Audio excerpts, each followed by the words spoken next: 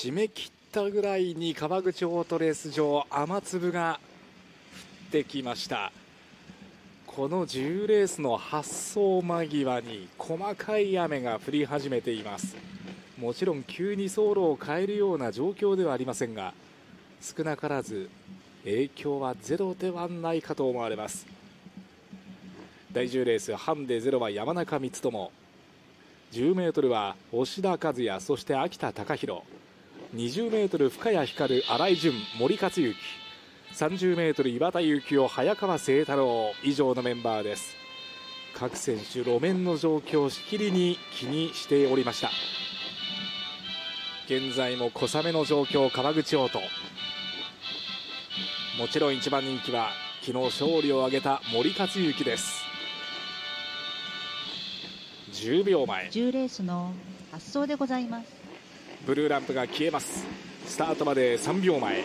二次予選 A 第10レーススタートしました。さあ 20m 線のスタート争い。センターから5番の新井淳ここはインコースの深谷を支えて一気に前まで突き抜ける勢い。5番の新井淳が2番手スタートを決めています。先頭は山中。2番手に上がった5番の新井淳そして3番手に吉田がつけています。注目の1番人気森克行でありますがインコースから早川清太郎が誘おうとしております。レースはこれから2周回目。さあこの走路の癖をどうやら掴んだようであります。6番森和幸今4番手に上がってきています。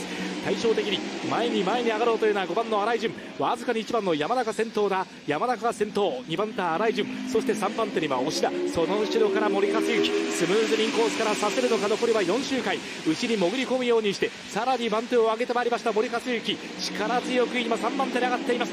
さあ2番手の新井淳なかなか2番手で手を焼いている。その新井淳に並びかけるのは6番森克行4コーナーを立ち上がりまして残りは3周回。さあ外攻めから加速感は十分だ。ここで5番の新井をかわした。さらには1番の山中。ごぼう抜きであります森和幸ブランクゼロに見える力強さがあります。34コーナー森が先頭に上がった。突然の雨もしっかりと克服して6番森が先頭に立っています。残りは2周回終盤戦。2番隊山中光友早川清太郎も来ています。現在3番手の位置。滑った山中を捉えていく。早川清太郎2番手に上がった。先頭背番号6森克行まだその差は10メートルあります。4コーナーを立ち上がりまして残り1周のブルーフラッグ周回を重ねても不安はみじんもありません。6番森克行は先頭だ。2番手早川清太郎体勢変わらずそして3番手山中内を狙って4番の深谷が最後入り込んでまいりました。最終コーナーに向かっています。突然の雨も関係ありませんでした。